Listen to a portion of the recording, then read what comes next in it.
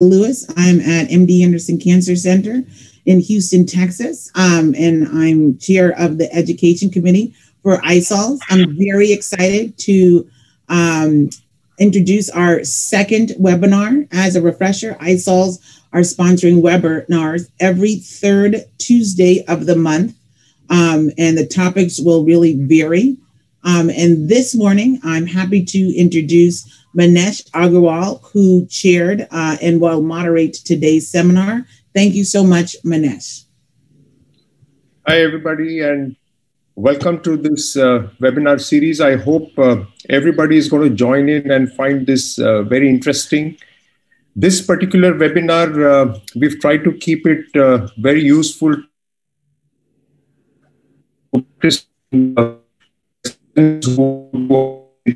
this and we hope that uh, they will have some tips which will benefit them.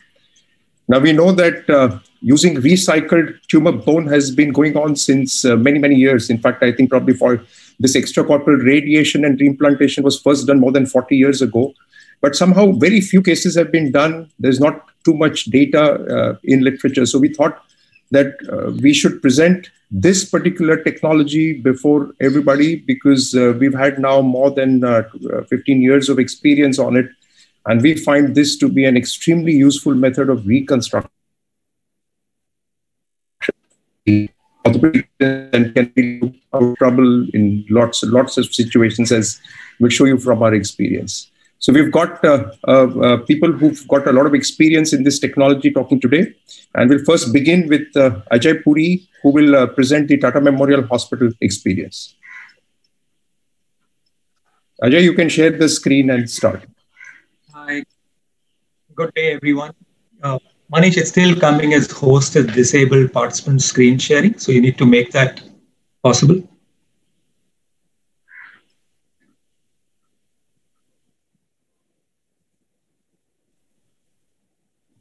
So anyway, uh, while Manish makes the screen sharing possible, I'm going to just talk about the uh, Tata Memorial well, Hospital. Sorry? You can share your screen now. It's already. Okay, perfect. Thank you.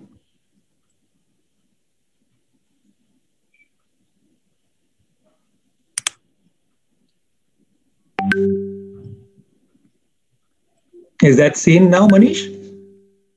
No, yes. Now only you, no, your screen is still not visible. Screen is still not visible because I've enabled screen sharing. So no. let me check that out again.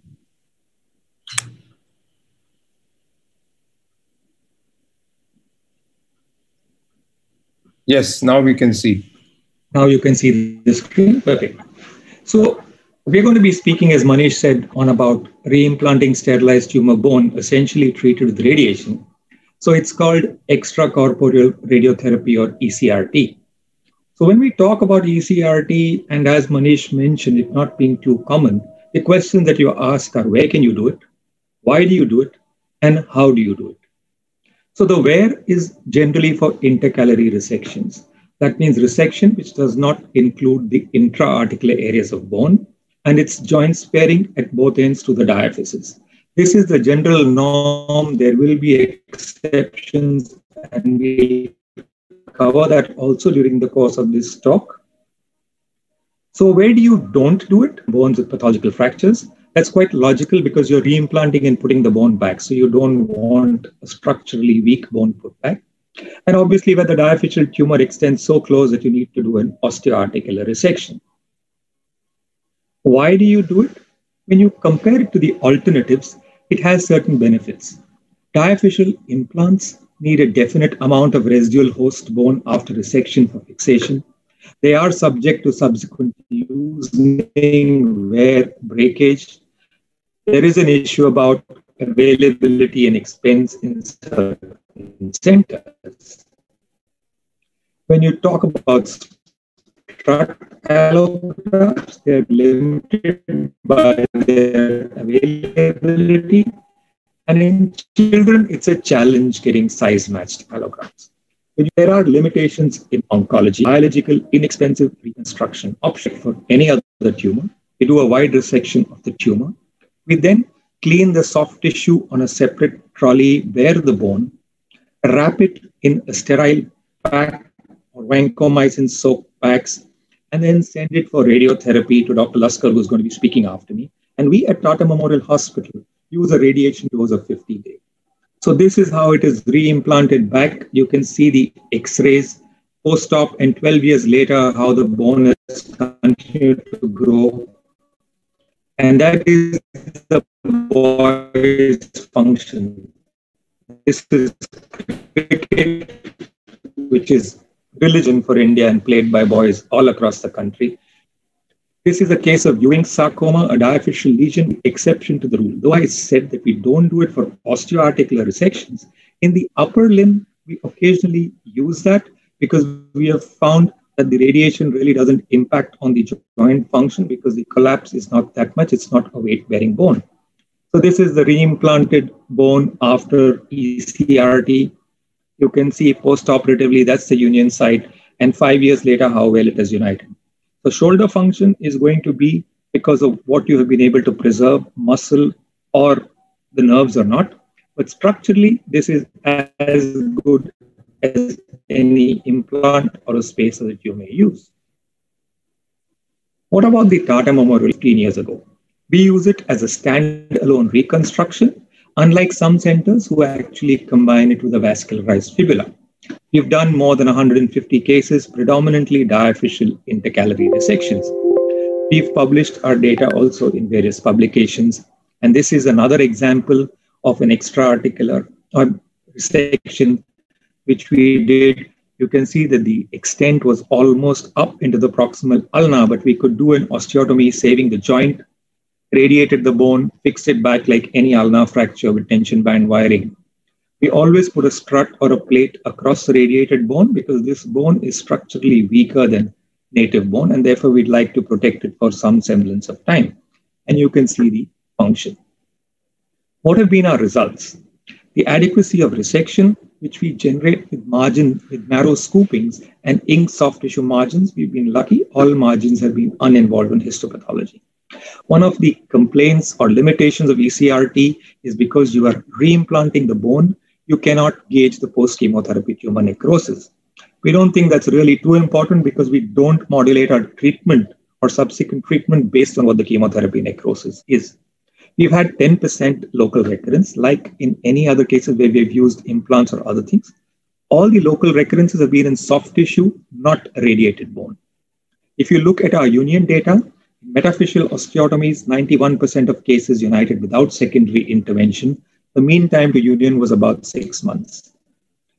It is at the diaphyseal end that you occasionally have problem. We've had 70% uniting without secondary intervention, and the mean time to union is close to 12 months. Based on our experience, some of the suggestions that we can offer are that the addition of a small second plate at the diaphyseal site, which gives compression, and using autografts at index surgery may hasten the time to union. What are the complications we face with an ECRT graft? Infection is there just like in allografts. We've had graft fractures, but these fractures occur late. The median time to fracture has been close to five years. 25% of our grafts had to be ultimately removed, either because of infection, fracture, non-union, or local recurrence. So if you look at our graft survival at five years, it's 79%.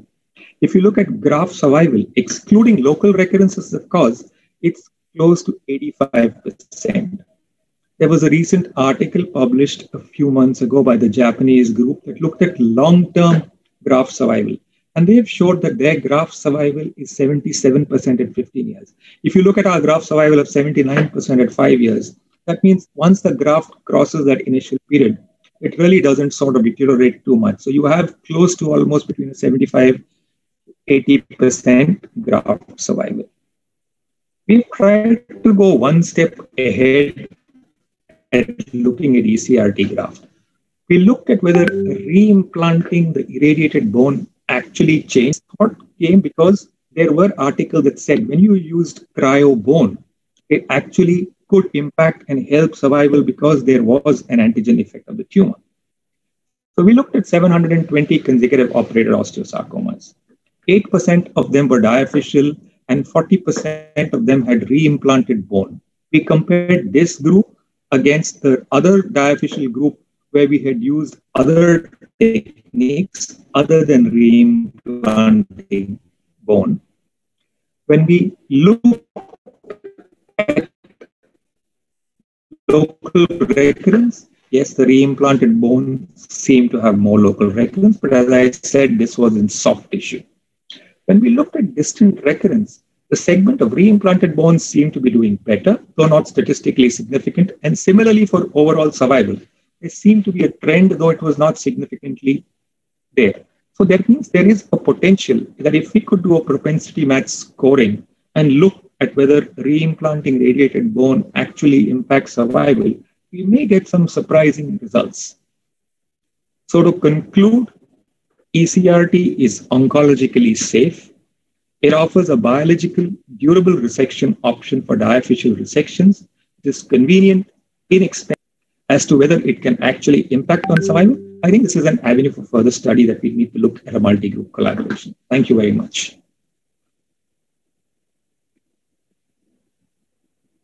Manish, you can stop my screen sharing and go back to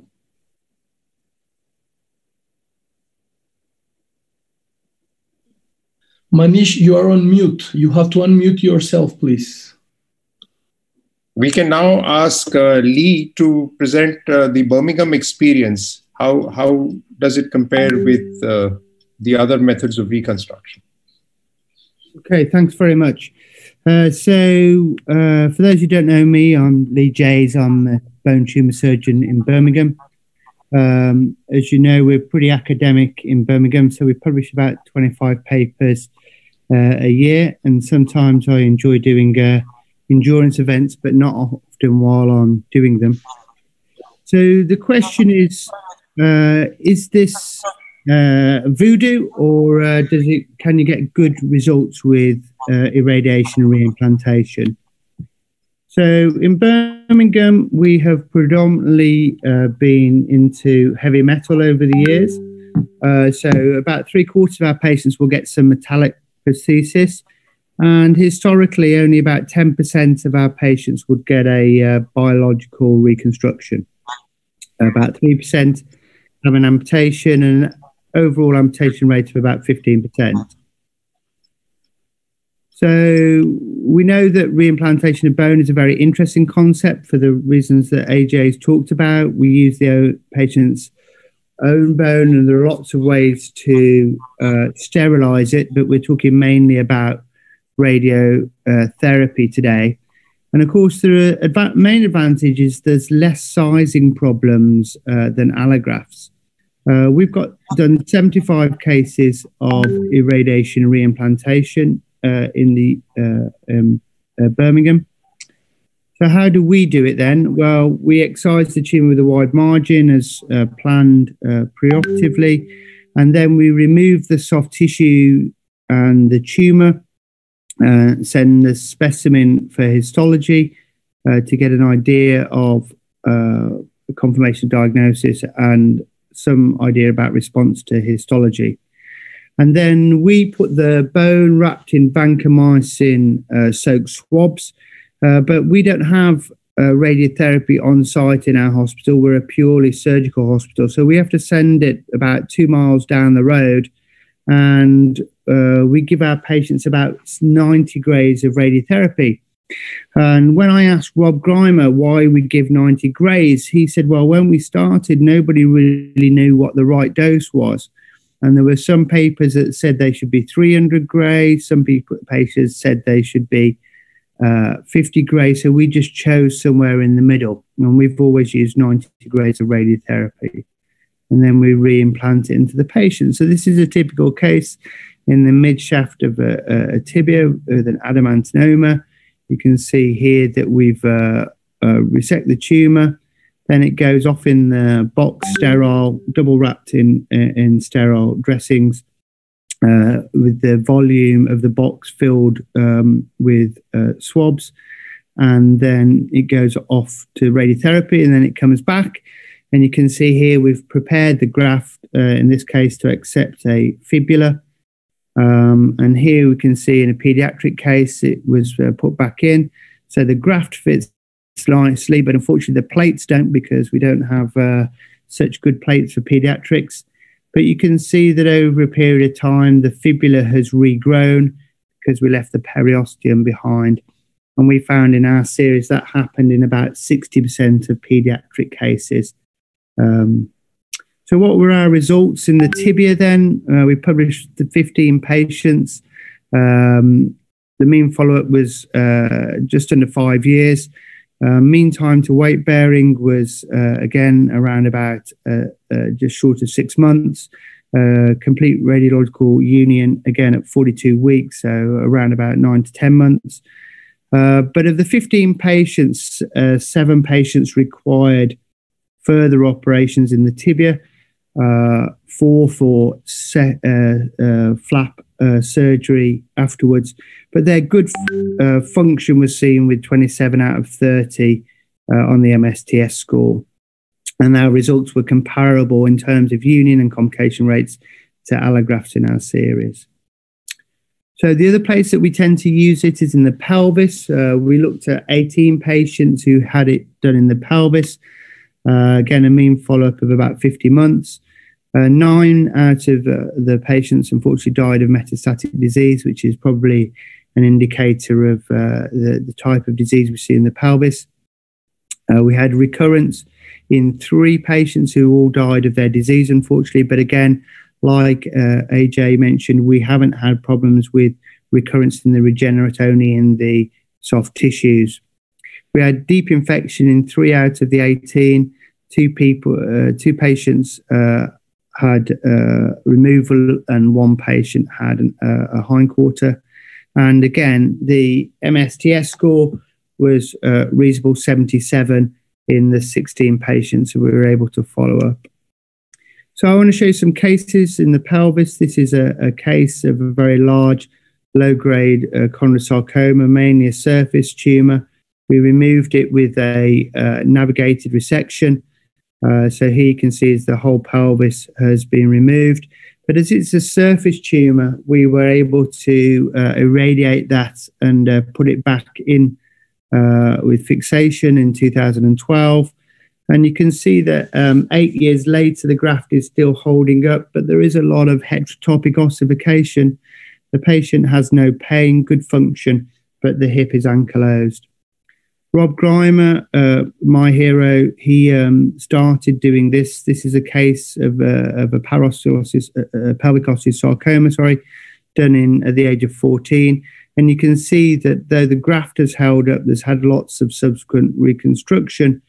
Uh, but 21 years later, uh, the the young, young, lady now has had a baby, and Rob is very lucky to get a a 21 year old bottle of whiskey for his efforts.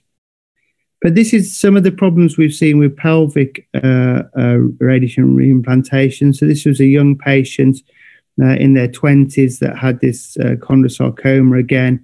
And uh, when it was put in, uh, within two years, we started to see infection and graft reabsorption. But you can see that the, the graft has united. At this stage, the patient's function was reasonable. But uh, a couple of years later, the graft uh, reabsorbed very quickly and uh, had to have a salvage procedure with uh, um, cementation.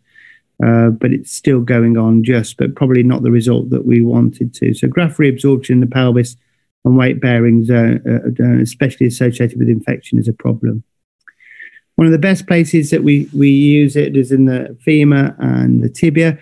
So we looked at six patients who had it done in the femoral diaphysis, um, 27, uh, 23 centimeter resection, on average about 60% of the uh, femur. No fracture or uh, infection in this group. Uh, and in this group, they all had um, cementation of the uh, fracture. We had uh, delayed union at one site, non union in one patient. Um, one patient ended up getting converted to a rotation plasty, but this was because they had poor necrosis um, and uh, that was for a tumor control, but the function is very good in these patients. So here's a Ewing's of the femur I did in 2011. You can see we navigated the resection, removed the uh, tumor, um, and this is the initial uh, post-op X-ray. Uh, and you can see that the bone has continued to grow from the epiphyses. Um, again, Can I come back to us? Okay, good function. And uh, you can see now, um, uh, nine years later, the function remains very good. Some unusual indications in the proximal humerus. This is one of Rob's cases, and you can see that 10 years later, the distal humeral um, uh, has united uh, and remains uh, with good function. Again, some unusual indications. This was an intra-articular Ewing, so we did a uh, extra-articular resection uh, and reconstruction for that again with uh, good functional results. So just a little bit of uh, biology. We did do some very basic bi- basic science tests to see whether um, the radiotherapy was effective with 90 grays. So this was a chondrosarcoma of the proximal humerus.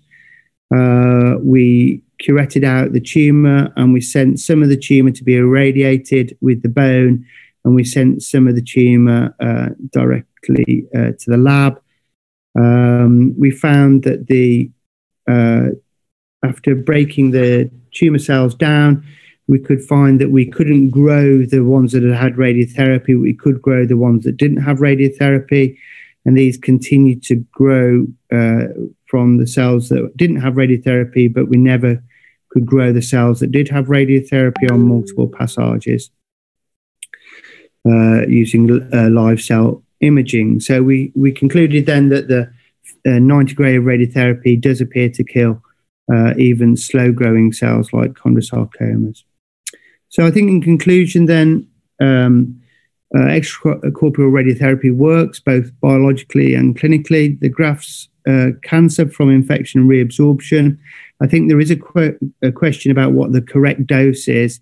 In our hospital, it does add a significant extra time, about three hours, because we don't have on site radiotherapy. In the last few years, we've moved more to allografts, but having reviewed our results, I think uh, it's something that's a very useful technique. Thank you very much. Thanks, Lee. Uh, I think uh, there were some wonderful points there I think these studies, which have uh, shown that radiation has uh, actually been effective in controlling the tumor cells, would go a long way for people to be more accepting of this procedure. So, in continuing with this uh, biology, we'll now ask Siddharth Laskar, who is the radiotherapist at Tata Memorial Hospital, to talk to us the whole basis. How much radiation do we need, and what is its effect on the bone? Siddharth, you can go ahead. Yeah, I hope I'm audible.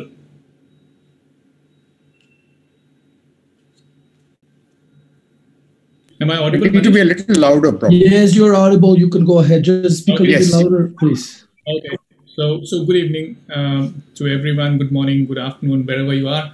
So, my task is to try and dissect uh, what is the biological basis of extracorporeal radiation. And I'll try to uh, address the issues regarding uh, the optimal dose of radiation and the possible impact of doses of radiation on the mechanical aspects also. So, what? Why do we radiate the bone to a particular dose? The intent is to eradicate all viable tumor cells while we maintain the structural integrity and also allow uh, reintegration of the uh, irradiated bone segment uh, after the radiation therapy has been uh, radiation has been done. So, do we have data uh, to say to tell us what is the most optimal dose that would cause uh, sterilization of the tumor cells? So, this paper is from 1981. It's an interesting study on 18 histologically proven osteogenic sarcomas, which are supposed to be radio-resistant. These patients uh, received radiation therapy to doses ranging from 32 gray. Uh, I'm sorry, Dr. Laskar, your your your slides are not going through. You have to pass the slides, please. You have to set it on the presentation mode yep. and go and pass the slides, please. Yeah, you'll have to go on to the presentation mode Siddharth, and then keep forwarding the slides. Can you see the slides now? No, we can't see it in the presentation mode. Okay. You need to press that play button and Can you see now?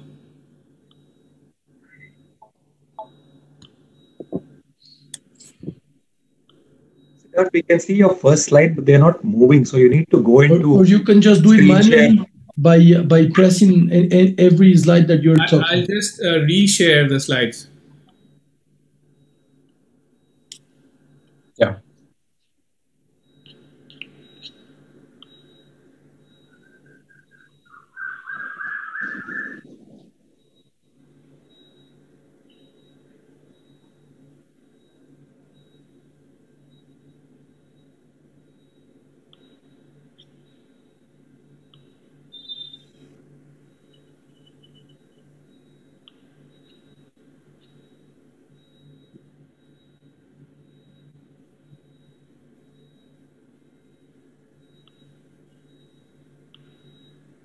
Is that okay now?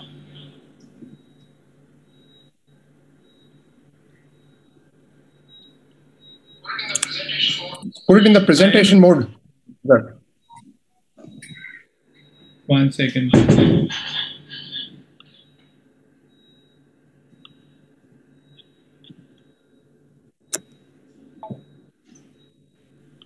That's fine. Now go ahead. Yes, Yeah. moving? Yeah. Yes. So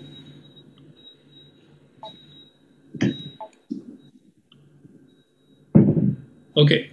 So so as I as I said, the primary aim is to eradicate all the viable malignant cells, uh, and while we maintain the structural integrity, and also allow the dose to be such that it allows optimal reintegration of the bone once it is reimplanted after radiation.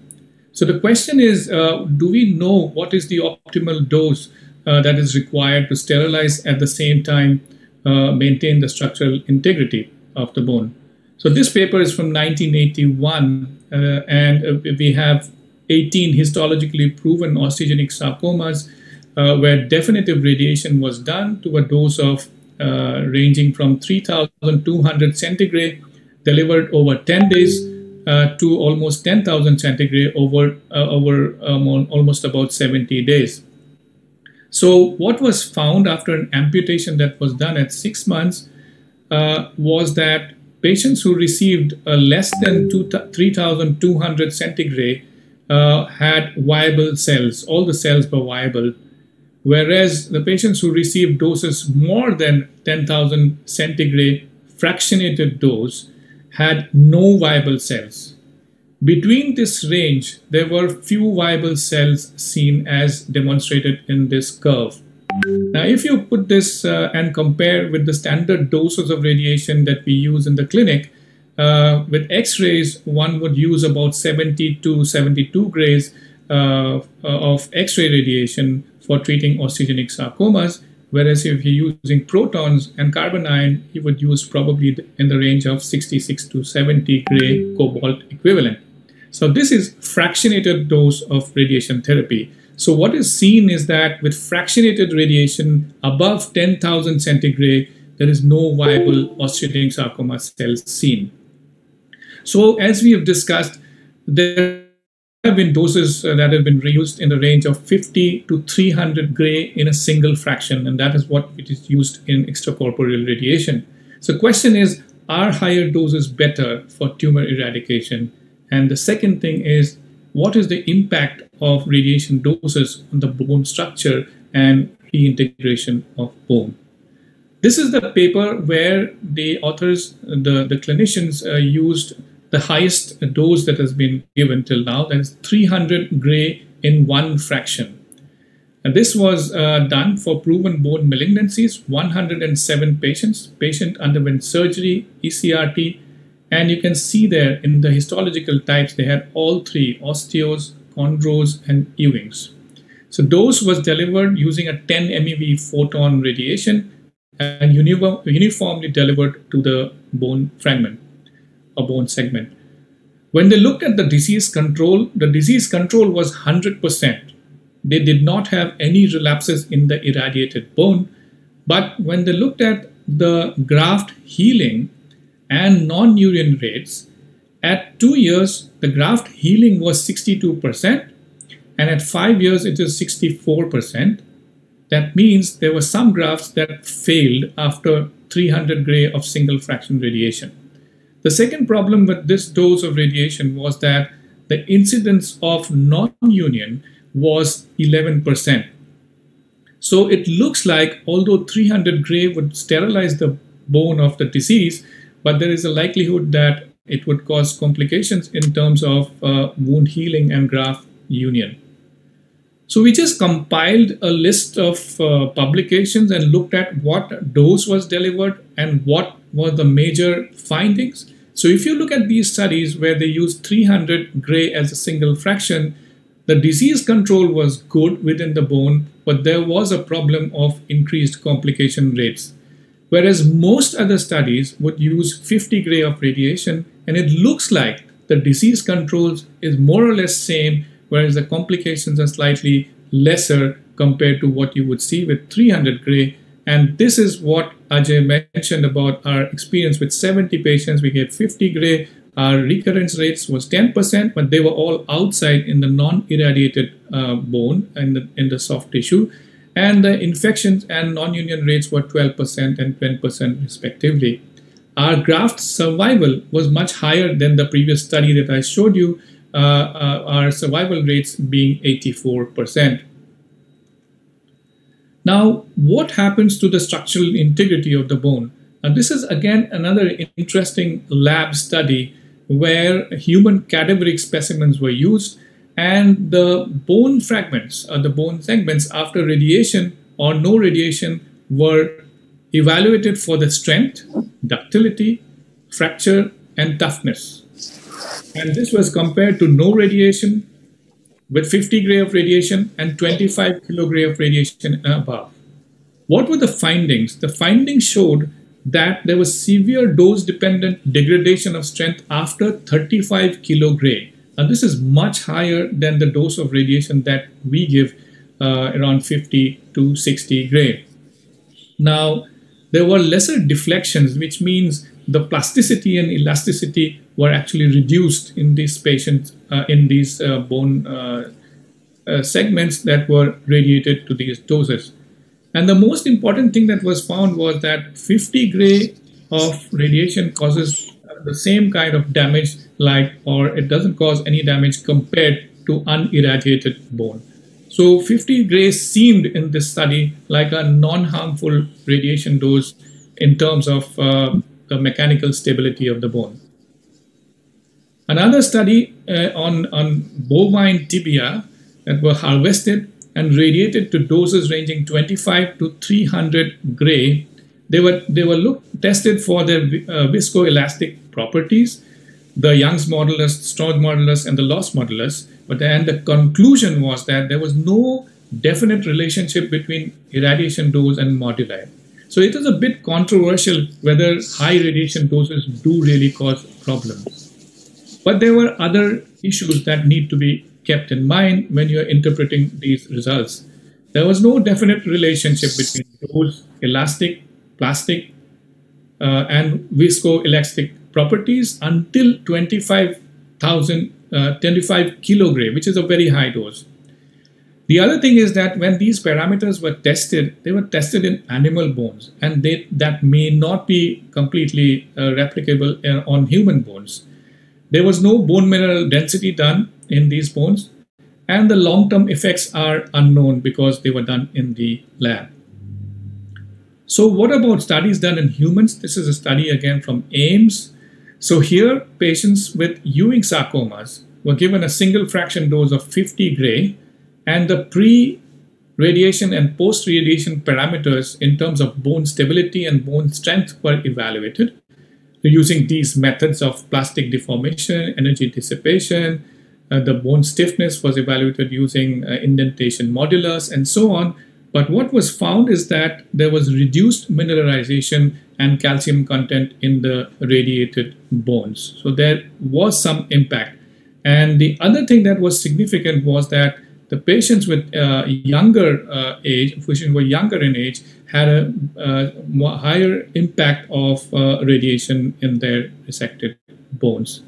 So, besides the uh, wound strength in terms of, or the bone strength in terms of uh, plasticity and elasticity and fractures, the other things are regarding avascular necrosis, and uh, there were uh, there were uh, there other things that need to be kept in mind was regarding remodeling of the graft, which is limited, and the problem is regarding the lack of histopath unless you're sending the margins of the bone from the resected specimen for histopath analysis. So these are the other things that need to be kept in mind when you are radiating uh, using ECRT. There was some uh, study, uh, there was some uh, research still uh, looking at the differences in outcomes in terms of local control and complications using other modalities like liquid nitrogen, which freezes the bone fragment. And uh, what was reported in this study, which was not uh, very old, uh, ECRT to a dose of 150 to 300 in single fraction compared to freezing in 85 patients what was found that there was no difference in the union till 18 months. There was no difference in tumor recurrence. The graft-related complications were same and the survival were same. There were other studies which looked at other parameters like bone morphogenetic protein. And looking at that, when they compared uh, extracorporeal radiation versus liquid nitrogen, there seemed to be a, a, a, a better uh, outcome in terms of bone uh, strength for, uh, for the specimens that were treated with liquid nitrogen. So to summarize, ECRT seems to be an effective method on reconstruction of bony defects post-surgery. Single dose of 50 gray, which is equivalent to 25,000 centigray of fractionated radiation, results in effective tumor eradication. Higher doses do not seem to be necessary for tumor eradication, and there seems to be a structural integrity and reintegration uh, superiority in, in, uh, in bones that were radiated to 50 gray as compared to 300 centigray. So the bottom line is probably 50 gray is good enough and it helps in eradication of disease while at the same time uh, maintaining the structural integrity and the property of reintegration. So thank you very much. I hope I was able to uh, address uh, these two questions uh, in a way. Thank you. Thanks. Thanks, Siddharth. You can probably stop sharing and.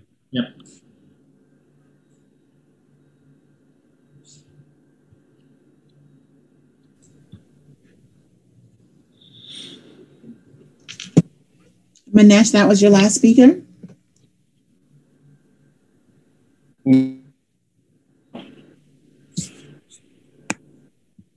So just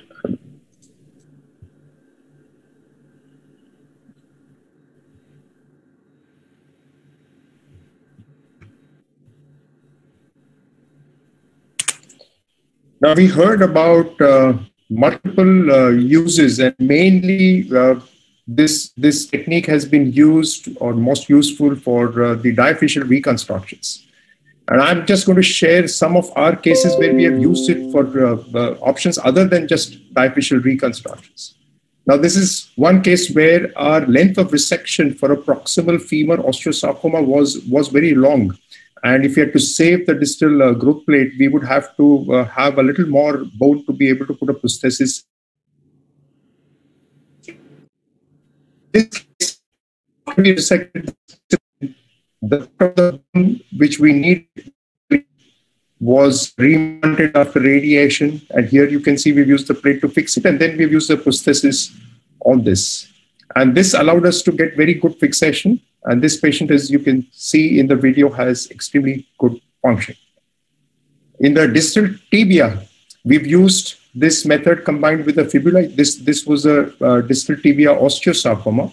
You can see this was a big soft tissue mass on the posterior aspect of the distal tibia. Post chemotherapy has been extremely good response. The tumor marked, so we decided to resect the distal tibia.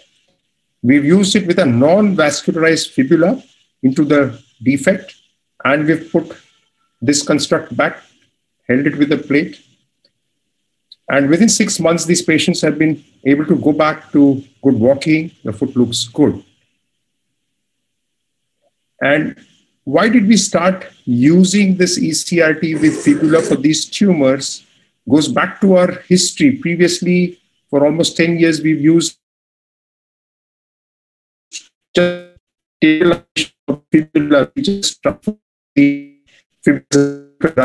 into the leaf. We found that it takes a pretty long time to hypertrophy. Very often we see plate breakages in fact, uh, they've been very common, and it's it's a long time before the patient can actually be full weight bearing or go on to full activity involving sports or running. Whereas with this particular method, we've now done four cases. We've not had any non-unions or any breakdowns, and in all the cases, uh, the patient has been off to full weight bearing in six months. We've not had to do a second operation. We've not had to change anybody's plates, and and therefore, we feel that this, this was a very useful addition to this kind of reconstruction. The best use that we found is in osteoarticular particularly and Lee Jeys uh, pointed out uh, good results, and this is a, a very similar case of osteosarcoma. Here, acetabulum was involved, so you can see there has been a, a resection because of which uh, we had to uh, resurface the joint. Normally, we don't resurface the joint, and I saw in these cases that they have been putting a prosthesis with the assumption that uh, the acetabular cartilage would be dead and they would resurface it like this. But here, this resurfacing was done because uh, the joint was involved and dissection. And these patients have to the logical method muscle reattachments that we can get has been quite uh, superior, um, much better than compared to the other method of reconstruction that we've used, like the prosthesis or, or just doing a, a mesh plasty. Now, if, if the joint is not involved, like in this chondrosarcoma, we have just uh, put the acetabulum back and we have not resurfaced it. You can see this with a single approach, we can, we can actually fix both the columns. And these heal very predictably. And this patient, you can see, can walk extremely well with very, very little limp or any support which is required.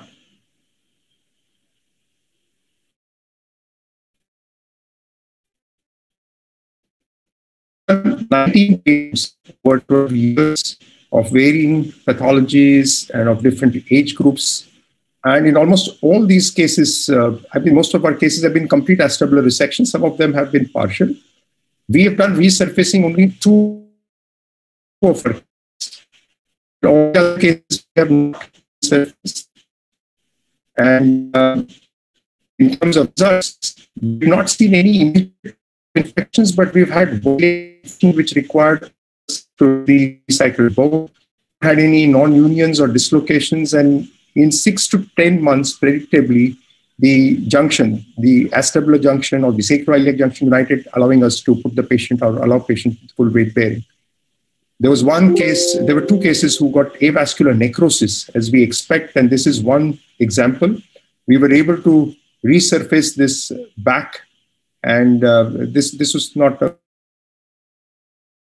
very difficult operation of the patient had uh, one other patient who had a little bit of thin of joint narrowing, but three could function, but maybe replacement for the, the function uh, for cases where we have a reasonably long follow-up, you can see this is an eight-year follow-up. Most of these cases have not shown much of a, a cartilage thinning, and their function still remains very good. Again, this is another patient with almost a six year follow up, and you can see even on the CT scans that the joint space has been maintained. So, primarily, we don't resurface our hips because uh, uh, we believe that if we can buy some time before we do placement, them on so in terms of long results, most of these patients uh, have had very good uh, functional scores. All independent ambulators We've had two local recurrences, but they've been in the soft tissues, and there have been both uh, which had undergone intralesional surgery before uh, they had presented to us for resection. We've also used osteoarticular reconstruction for the olecranon. This was a Ewing sarcoma, and uh, again, post chemotherapy, good response. Then we have done the resection, radiated. We have reimplanted it back uh, with all the ligaments. And you can see from the video that the function is good. The, we have a four year follow up for this patient. But the results are very stable and good. Three cases, and all these three cases, our results have been good.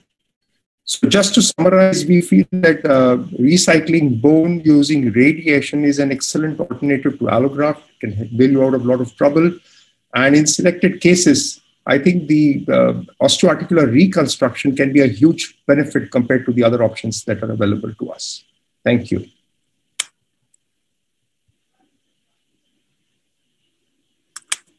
We can probably now answer uh, Yes, um, we can. We are going to read the questions that people have asked um, for for the different doctors. So, uh, if you want to start, Valerie, please go ahead. Awesome. So it looks like we have a question from uh, Philip. Um, uh, magnificent results to Ajay. When looking at outcomes and survivals, have you corrected for tumor size or can it be a bias? As in the tumors for extracorporeal RT have been those with smaller soft tissue extension. That was a question from April. Actually, most of the questions have been answered on the chat. Do you want me to sort of articulate them all over again? Yes. So Philip's point is well taken. Now, this was a retrospective study and the numbers were relatively small. And so we didn't do the size matching. And that's why we suggested that maybe a propensity matched cohort with multi centers and larger numbers could be the way forward if we were looking at seeing whether reimplanting bone would actually impact survival or not. Great. Thank you very much. We then have a question from and I'm terrible with uh, pronunciation of names, Yugesh Hachua, to all the experts. What is advisable during ECRT, removing the tumor component before radiation or after radiation? What do you recommend? Siddharth, what would you recommend as a radiation oncologist? I mean, would there be any difference between whether you radiated the tumor before or after? So we what we follow is that we strip the uh, bone of the soft tissue component, and you primarily what you do is you end up treating a smaller volume of uh, tissue. But if you ask me, is it really going to make a huge difference? The answer is no, because it's not going to be more than five centimeter or maybe eight centimeter in thickness that you are treating. So that could be easily and uniformly treated with your conventional radiation. So it's not going to make a huge difference, but it is always better to strip it off. Maybe you're treating a smaller volume of tumor there. I think one of the other points is is that when if you start to use um, irradiation and reimplantation uh, in your unit, then the one of the biggest things you'll get is your pathologist moaning that they don't get the uh, tumor sample. Um, so you need to make sure for us that we can give them as much tissue as possible. Um, and if you're resecting it widely, you can still measure those uh, margins. So, Lee, what we do is uh, we send the soft tissue that we remove as well as the marrow scrapings yep. to the pathologist. And we do this after the radiation. And we have compared again, uh, sending the sample before radiation and after radiation, and, and then pathologists can't tell whether this is a radiated specimen or not, which means that the cells are just stunned. I mean, it does not uh, change. Doesn't burst them. The evaluation necrosis, or they can tell you whether there's a 100% necrosis from the soft tissue component. Most of the patients that we treat would have a soft tissue component and when they don't have that, we are just sending them the marrow scrapings that we have from the tumor to just get a rough idea about what kind of uh, response to chemotherapy we have had. Margins, of course, we can't evaluate, but uh, as Ajay pointed out, that we could take shave margins and send them separately ourselves. And then we can be secure. Any, anywhere where the surgeon feels that the margin has been closed, we can just sample those margins uh, separately and be assured that our margins have been free.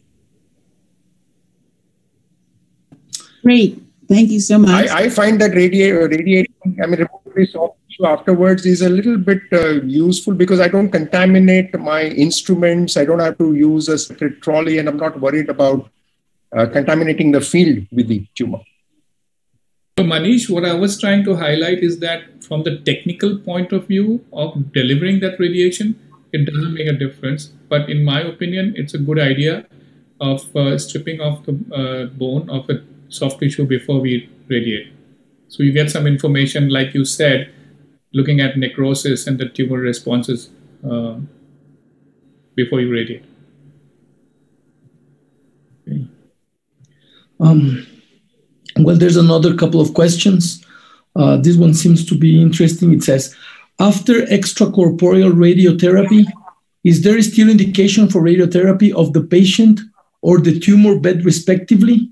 With irradiated bone withstand that or not? Would it not impact the osteosarcoma, for instance, in pelvic Ewing? It's for all of the speakers. Well, that's been one of our relative contraindications, where if we anticipate post-op radiation, we actually don't schedule that patient for ECRT. We would use alternative methods of reconstruction. And one of the reasons is because giving a double dose of RT we are always worried on what would be the structural impact on the bone. And as if you scroll down one of the last questions, radiation induced sarcoma occurring later. We've been fortunate, we've never had it with the 50 gray that we've used, but we don't want to risk a chance of giving it a double dose and sort of risking stuff like that. So we don't do ECRT where we are anticipating post-op radiation. And well, in case for any reason if you have to radiate, then it can withstand. I mean, the bone will withstand the radiation. No, but Manish, but the problem, as I said, regarding the, the structural integrity of the bone, which uh, deteriorates after a particular dose of radiation. So when we say 50 gray of radiation, we are actually comparing it with 25,000 centigray of radiation, which is a large dose. And you if you add another 50 gray so that's a lot of radiation that you have done. So, we, so that integrity would be a problem. Jay lee so we haven't uh, we have again the same thing. If we're planning to use radiotherapy, we won't use radiation reimplantation, but we have given some cases radiotherapy afterwards um, it, for reasons of either poor necrosis or, or, poor margins in, say, for Ewings. Um, uh, but I think I did. I think ideally you don't want to give it uh, anymore. But if you think logically, you know, we're doing it, telling everybody that the tumor's dead, so the bone uh, should be dead as well. So the the, the, the you know the chances of secondary irradiating induced tumors shouldn't shouldn't happen really if all the if all the cells are dead in it. Uh, we haven't seen any secondary um, radiation induced carcinomas, sarcomas. Okay, um, I have a quick question. So, uh, in your small series of patients who you did irradiate after, what was the outcome of those patients? What was the outcome of their bone? Uh, I'd have to go back and look them up. I haven't looked them up in our series, but uh, I, I, think we've only done it once or twice. But uh, I don't remember that they had any uh, more problems. But you know, I, I, couldn't swear on it without going looking it back up. Okay, we do have a question that flows along with that. Um, it's to everyone, all the speakers. Does it matter in terms of fracture rate and resorption if you were irradiating flat bones with a thinner cortices versus long cortical bone?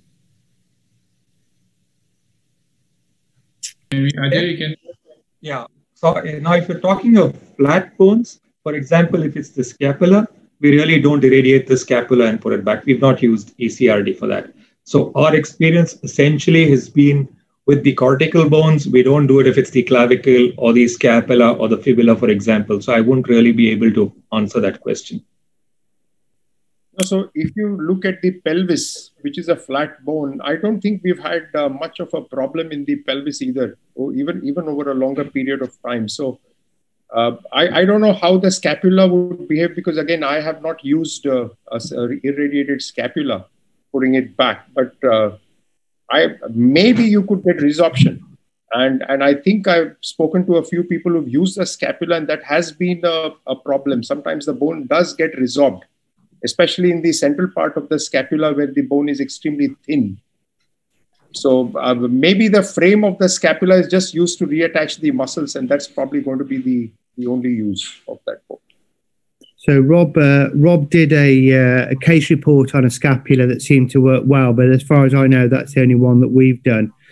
Uh, but again, I think when the bone gets thin, you start to worry about it. I think Manish made a, uh, or Ajay made good points earlier about the amount of weight bearing. So in my experience, the the upper limb ones seem to do incredibly well. Um, so I don't know if it's a weight bearing thing as well. Great. There's there's there's another question, interesting question here.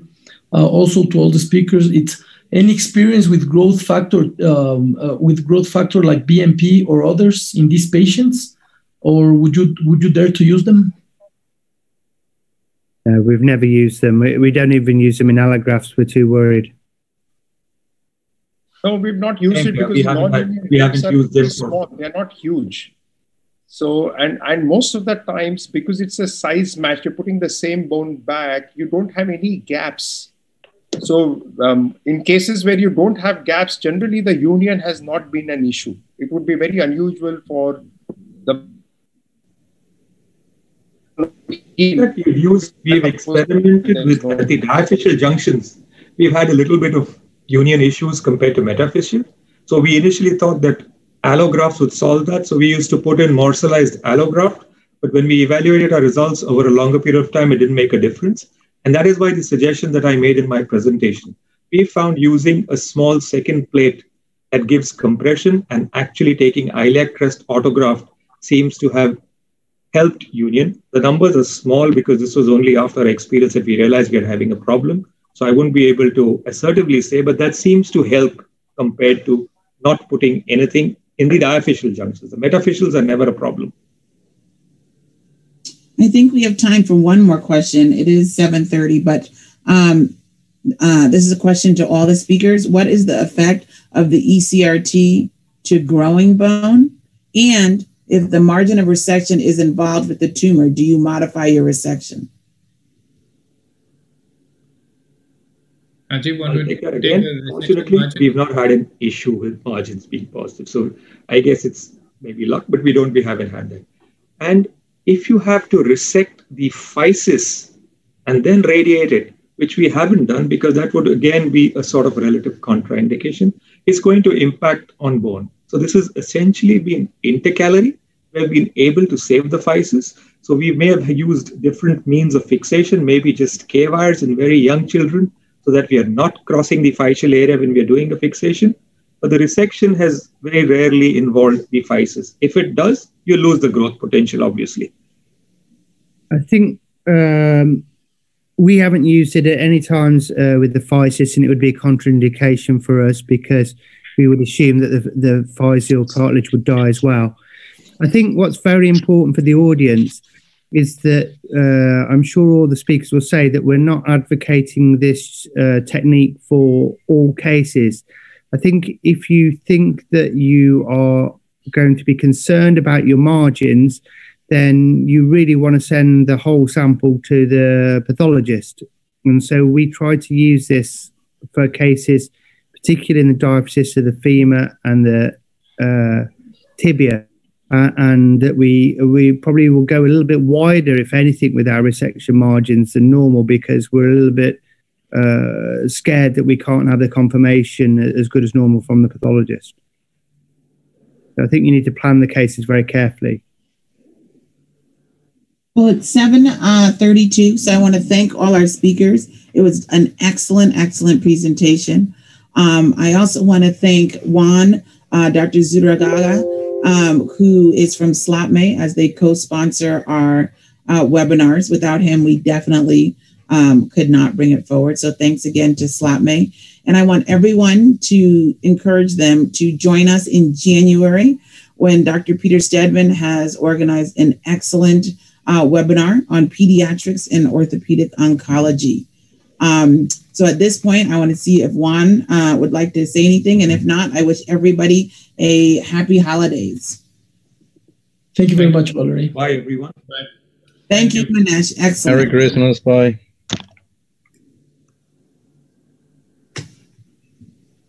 Merry Christmas.